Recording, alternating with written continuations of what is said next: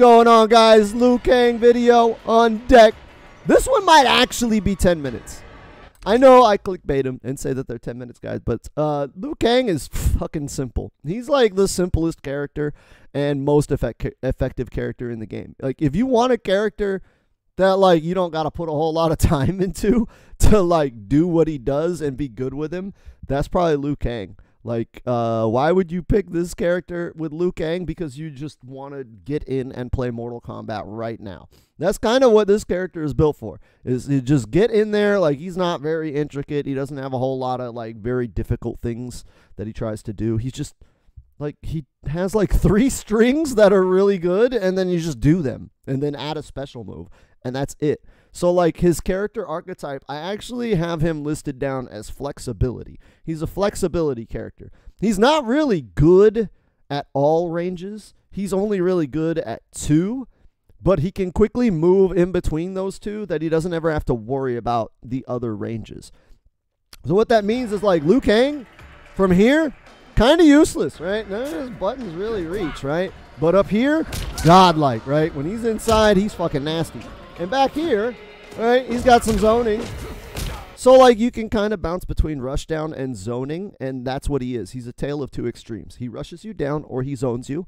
And if he's not doing one of those things, he's looking to transition from either or.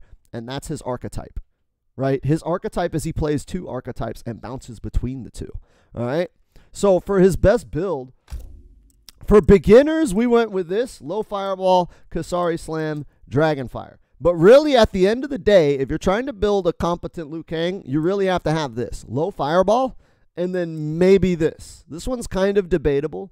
Um, but low fireball you have to have. If you're going to build Liu Kang, you grab low fireball and then pick and choose whatever you want. But this is the build that we're seeing from most people, and I find that it's simple enough to work for a beginner. So that's why we're using it. Um, so what we have equipped is we got low fireball, right? It's a low. It complements his high fireball. So as you're throwing this, they're going to start ducking, right? You throw that. It has an amplify, right? And this thing is really good to catch people trying to jump. So as you're doing this, right, you're zoning, you're being an asshole, and they're getting tired of that. They start ducking, right? So you start throwing that. They start jumping.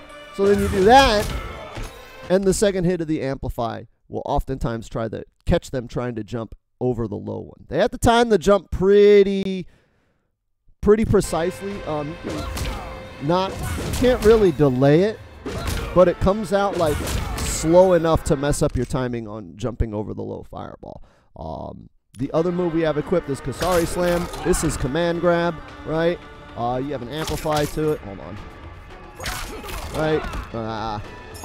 There's an amplify. You could change the direction, right? So when you do the amplify, you can throw them forward or you can do it backwards. So you can pick where you want to go. What's important about this move is uh, the tick. So he's got a tick off back one. Oh. Ah. There it is. Right. Anyways. There's a hitbox issue. Trust me, it works. Let me try, let me see if it'll work if he's ducking. Maybe you got to duck. Oh, I don't have it on stance hold. That's why.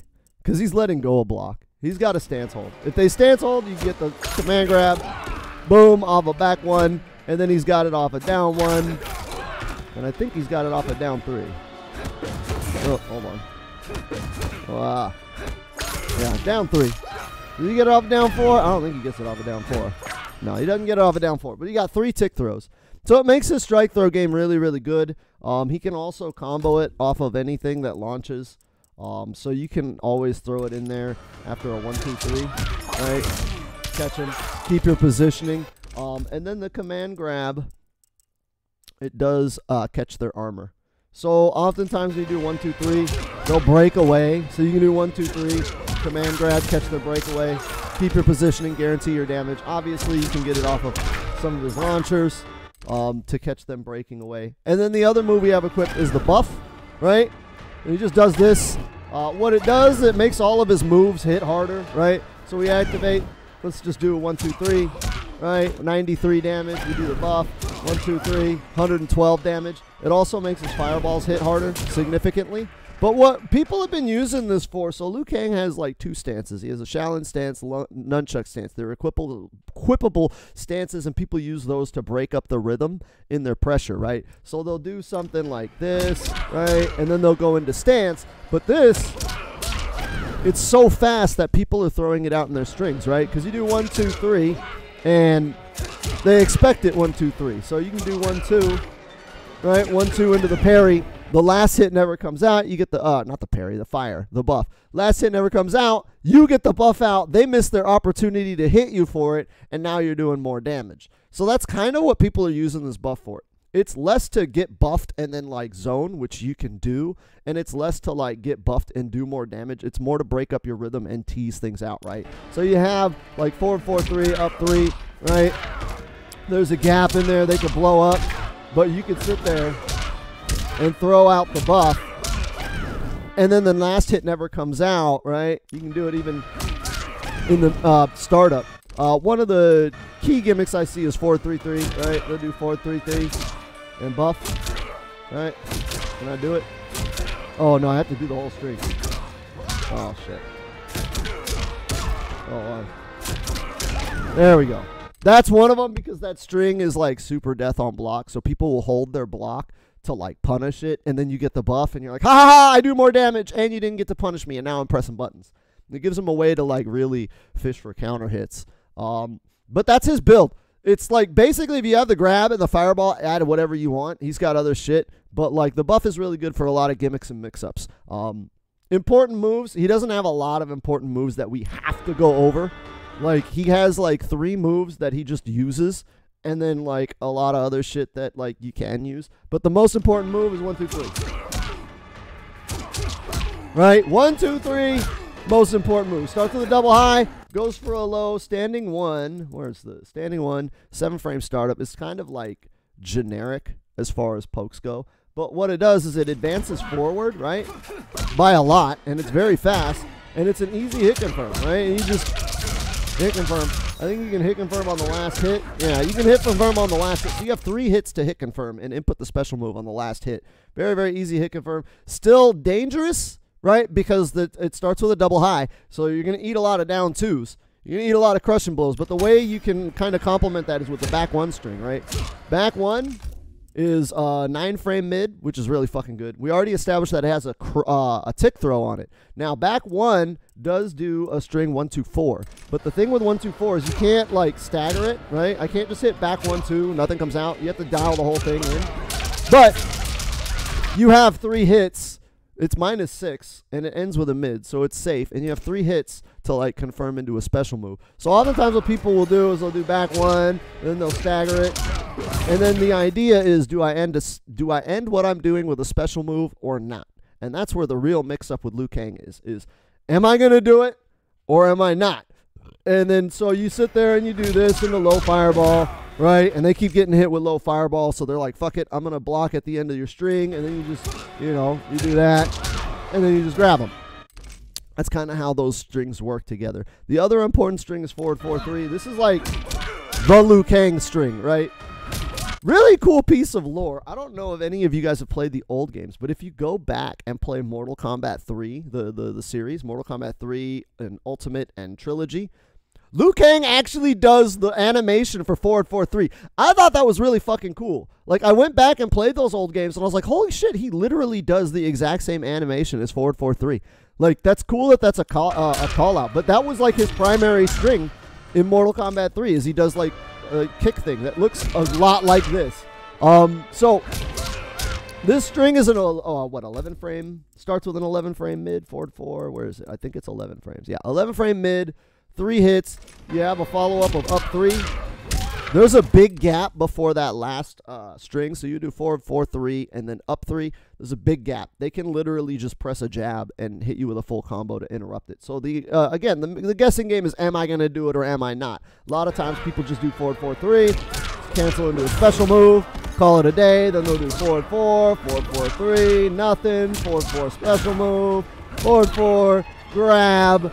That's where the mix up is. Just do forward four, forward four three four four up four four three up three forward four grab forward four special move. You just kind of doing forward four and then deciding where you end it, and that's like how Liu Kang rushes you down because it's a, he's got an 11 frame mid and a 9 frame mid, and he just alternates between those two to keep you from ducking, so he can just go back to one, two, three, right? And it just loops over and over and over. That's like Liu Kang's command list in a nutshell. He can be broken down into three strings. There are uh, two more strings I wanted to talk about. Um, so we have the back three four, right? Back three four is just a general all-purpose like uh, launcher or not launcher, low, right? So you just throw that out there. He also has three four regular. That's mostly combo fodder. But this just a low, right? This is gonna be your shimmy, right? I'm gonna go. I'm gonna hit you with a down one. I'm gonna backdash and I'm gonna hit that. For being his uh, primary shimmy whiff punish move in the neutral or not neutral close range it has really good range like it actually reaches really far for what it is it is kind of slow right if you look at back three the frame data it's 16 frames on startup so it's a little slow for a low but like if you're sitting there and you're peppering them with that you can backdash and catch that and you get two hits to hit confirm before you go for the special move so you can input your special move on the last hit and hit confirm it really, really late. So it's a very, very good tool. Um, the other one is going to be forward three, right? He's got that. You hit it once, and he does two hits. Uh, you can't do anything off it, but you can add the whole string and add special moves to it. Hold on. There we go. Right? You have to dial in the whole four hits. It's 4 3 just gives you the one hit, right? 4 3 just gives you, or no, it gives you the two hits. And then if you dial all four hits, then he does the whole string, and you can special cancel on the third hit before the last hit, because as you can see, the last hit minus 12. So you will die if you do the whole string. So for the most part, what Liu Kang's do is they'll they'll stagger. They'll hit 4 3, 4 3, 4 3, 4, come in 4 3 again, back one, and then grab you. And they just kind of loop all of that shit. And then eventually you're going to have to make the read and go for the whole thing, right? But you can get, you know, combos off of it. It's pretty simple thing, right? You launch them up. Uh, I can't do it. I did it before starting the recording, but, uh, you know, my hands are cold, right? but that's kind of his important strings. That's it. You just alternate between those when you get in. Um, and then when you're not in, you just do projectiles. It's that fucking simple. I mean, his basic kit, we didn't even talk about his basic special moves, but he has like all the shit you expect. He's got Dragon Kick, you can amplify it. Just throw it at the end of a special move and then it works, right? Bicycle Kick, you can amplify it twice.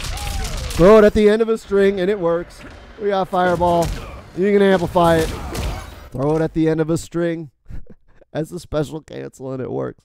Liu Kang is very, very, very, very simple. Um, I'm like he's got a crushing blow off forward four three up three. If you get it on a counter hit, he's got a crushing blow off fireball. If you hit or a dragon kick, if you hit him with a fireball, uh, air fireball from max range. Very, very simple. Like his pieces just work. That's kind of the thing with Liu Kang. And so for his important ranges is going to either be range one, where I can pepper you with mids and harass you with my close range shit, right? Or range fucking zoning range, right? It's like range one or zoning. Here in the middle is where you're gonna struggle. You're gonna have to get in. You're gonna have to be risky and do this, like do fireballs, which they can jump over and punish. So that's that. That's the only place where you really have to be careful with Liu Kang. But once you get in or once you get out, you just do whatever the fuck you want. And we are now at 13 minutes. Almost made it to 10 minutes. But that's the Liu Kang guy. It's pretty simple. He's he's like the easiest character in the game, and he's considered to be top tier. So like, if you want to like get results and not put in a lot of work, Liu Kang is gonna be your dude. Liu Kang is gonna be your dude.